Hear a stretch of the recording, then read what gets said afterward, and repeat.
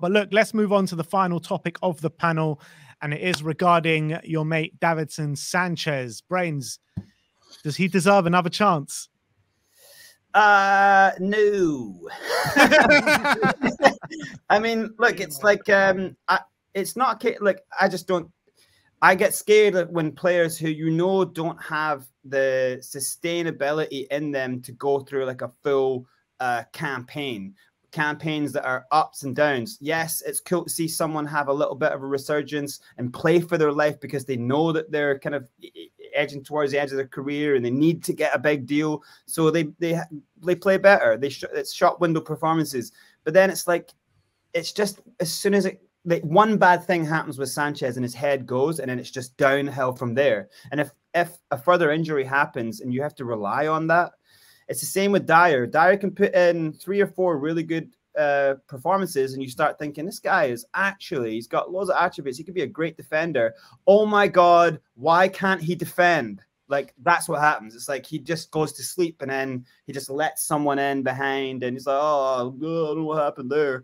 You know, so yeah, so I, I don't want to see uh, Dier or Sanchez in our back line ever again, and uh, and that's not to. I, I genuinely do really respect that he's had these good performances, and I hope he gets a good deal for it. That's not. There's nothing negative on the player. It's just we need to be serious as a football team. Like we should have been serious at the start of this window. We should have got three or four defenders in at the start of the window. We got Phillips, fantastic. I'd, I'd almost rather see Phillips at the back with Van de Ven. If we're going to risk Sanchez, you know, because he could have a good game, it could have one of those games where he gets blown over by the wind. Like that's there's a huge chance of that. So I I I don't want to see um, us give Sanchez another chance. Yeah, but brains, when you're looking at the centre back options, obviously you got Van de Ven and Romero, who nobody comes close to in our squad right now. But apart from that, you got Sanchez, Tanganga, Eric Dier, and Ashley Phillips. Ashley Phillips, probably too young, not ready. The other three, we're all looking to move on, right? And out of those three, do you not think Sanchez is is the most um, you know adequate to play the system that we want? Yeah, no, I, like if you've got no other players and Romero isn't playing, yeah, like we're stuck right now to have to play him. But I'd rather us do a deal right now for him, get him out, and then just bring Tosin in immediately. Just go and get Tosin straight after that deal. Like do it on the same day. Like I, I would do that. I, I, if he's here and Romero can't play, yeah, sure, he's the first alternate, but I wouldn't want to give him a chance. I wouldn't want to go the whole season when the window closes with Dier or Sanchez as our first alternates. I mean, in my opinion, I think you need to get Dier and Tanganga out the door before you get Sanchez out the door. And I sure. agree. I agree that Sanchez does need to leave at some point, but I can't see us bringing two more centre backs in from now until the end of the window. So if we were going to go for, into the season with Van de Ven, Romero, a new centre back and Sanchez, I don't have a problem with that. Yeah, I wouldn't. I wouldn't have a problem with that either. But the thing is, there's deals that look like they're ready to go for Sanchez, not for Dier and not for Tanganga. Exactly, that's the problem. You know, yeah. so that's the problem. It's like so you got to sell the ones who are ready to go because if selling him right now gives us the unlocks the kind of boom, free open the door, walk through, get a new defender, then the more, the more likely, I, I, would rather risk the Sanchez sale and not getting any money from this summer than play Eric Dier and Tanganga um, as backups. I really would. Yeah, yeah, yeah, of course. But I'm considering that, like, we're definitely trying to get Dier and Tanganga out anyway. I, I think all I think all three are going, uh, include yeah. Sanchez in that. Like you, you, you, you are right in saying that. Yeah, hmm. yeah. Like I think you are right in saying that Sanchez is the best of those to stay if you need him to stay. Yeah. But if like if I'm thinking like if we're going to be playing one game a week most most of the way through the season, right? Yeah. So yeah, yes, we could have the world's worst injury crisis, and maybe uh, if Sanchez ends up being fourth choice. But as Brain said, I'd, I'd rather see Phillips have those minutes. If those things are to happen, I want Phillips to be the fourth choice. Like we obviously think there's something there. We think mm. like logically you'd be saying, okay, spend the season at Blackburn, play more often, all the rest of it. Well, Ange doesn't seem to be even contemplating that. Like he's training with the first team. I think he was on the bench on Sunday. I, I might yeah. be wrong, but I think he was. So to me, he's the fourth. What we're looking to do is improve the third because right now Sanchez is the third choice. Sanchez will go. He's been at Spurs a long time. As far as I'm aware, he's had two runs as being like a major part of the defense. He yeah. played with Vertonghen when Alderweireld got injured, and he played with Dier. Outside of that, he's been squad player the whole time. I want him to go and play in Spain and spend the rest of his career there. I think that that's the best thing for him. I think it's the best thing for Spurs. So I don't think we need to sign two more. I think we need to sign one more. What we're trying to do is improve on the option of Sanchez. Because to me, you've got Romero and Van de Ven will be our, our first choice if they're fit. You sign a third one to cover both if needed, and the fourth choice can be a youngster. And yet, maybe by the time November comes around, we've got two suspended and one injured, and we're playing Dorrington and Phillips again in, in, in a massive game. But I, I, take those. I'll take those chances. I'd like to see that. I'd actually like to see Dorrington and Phillips. I, I, who knows that they, they could be the next, you know, massive uh, talents. Like I, it's weird. Like I know that Spence is on the way out, but I think Spence would offer more to this system. Like you could have Emerson Royal be your centre back if you really needed it. I'd rather mm. see him there than just keep Sanchez around. Like this idea of one last chance. Like it's sad that we're now playing a system that suits what he can do, but it's time for him to go. Like he needs to do it for himself. He yeah, spent yeah. what six years at Spurs now, five years at Spurs. He's never really been first choice, apart from that one time with Sanchez, I uh, mean, with with Dier when the two of them yeah. in that Jose team, when we played eight defenders, that's worked for him. But now, no, like it, it's just we, we have to think forward. We have to think that you know Dorrington at some point could be one of those guys. Charlie Sayers at some point could be one of those guys. Charlie Sayers is older than Ashley Phillips. Mm-hmm. So, like, at some point, like we, we we've got youngsters in that position who I would much rather give those minutes to if we lose two or three players to injury. Yeah. yeah. Yeah. That's a fair point. Yeah, for me, I understand the argument to say he's probably the best centre back out of the un, unwanted ones to play the system. But as Brain said, we're getting we're potentially getting offers for Sanchez. We're not really getting offers at the moment for people like Dier. So I would rather, if we get the offer, just sell and try and bring another one in and, and risk that rather than keep him because he's more suited than Dier and try and get Dier out the door. We're not getting offers for him, and then that risks keeping both of them. And I just don't want that to be the case whatsoever. So if we get an offer for him, we have to get rid of it. I think we have to sell.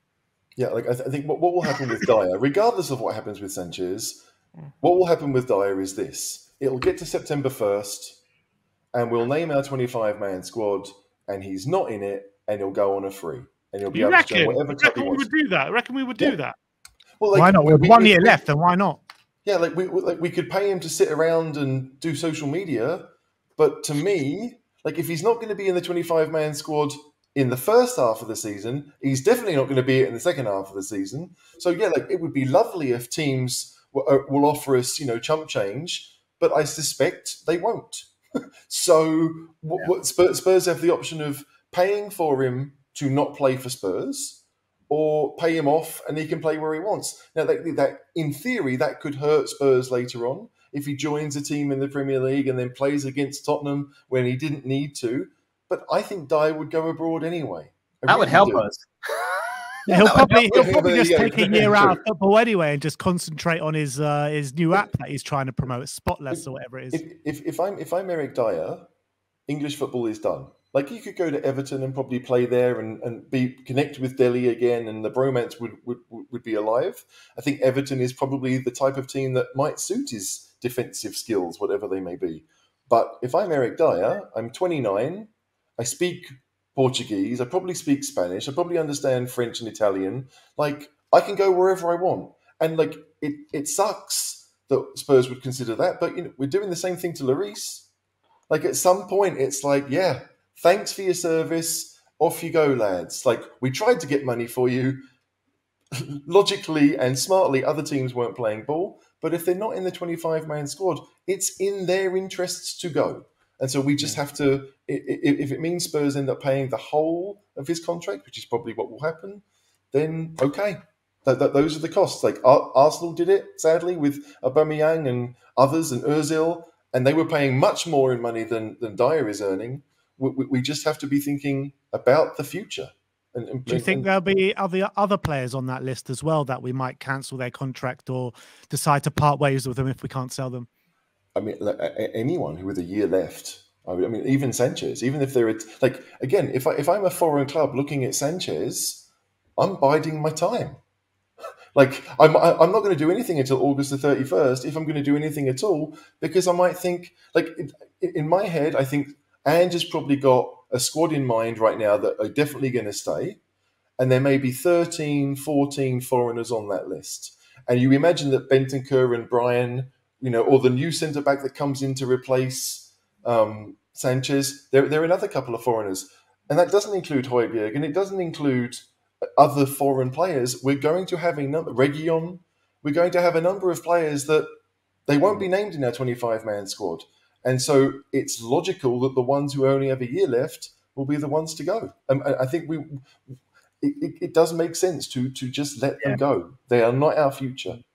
Agree. I agree. Can I'll totally I'll agree. Just be, I just didn't. I didn't even uh, consider the possibility of letting go Dier go on of, of Dier being here and not being in the squad. I didn't think that. I, I just didn't think it would get to that point because there's all the noise at the moment. As much as apparently Tottenham have been tentatively listing for offers for Dier, it seems all the noise of Dier saying he wants to stay and fight for his place and all this. There's no be no massive indication that he's being forced out of Tottenham right now. As much as all the fans want him gone. That's for sure. There's been no messaging from Tottenham that like they're they're desperate to get rid of him right now. He wasn't even in the squad on the he weekend. wasn't in the squad. That's yeah, that's the thing. They have to have form from it though. We they let go of Doherty on a free in January, didn't they? So it wouldn't be something that's completely new to them. And I we heard it, didn't we? to Dier. We heard it at the beginning of the window. Uh, Paul O'Keefe said you know, in the next couple of weeks, Spurs are going to start cancelling some contracts. And I always felt like that I think like you got to wait until you can find maybe get some money in, and then maybe at the end of the window, if you can't sell them, then you start cancelling the contract. So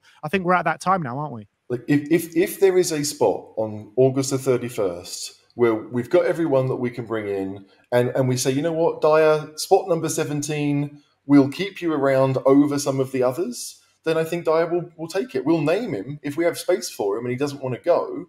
Mm-hmm. But if we don't have space for him, if there are 17 other players that we'd rather have around, maybe we, we would rather keep Reguilón around mm-hmm. than Dier. I mean, I would. I'd rather have Reguilón in the squad than Dier. So to, it's if, if he's not if he, if he can't play for Spurs, then what's he going to do? And as a footballer, which he is first and foremost, he'll want to go and get some minutes somewhere. He won't just want to sit around for three or four months. Like maybe one of the leagues has a, a has a later closing point than than we do because that usually happens. Like Turkey tends to finish a day or two later.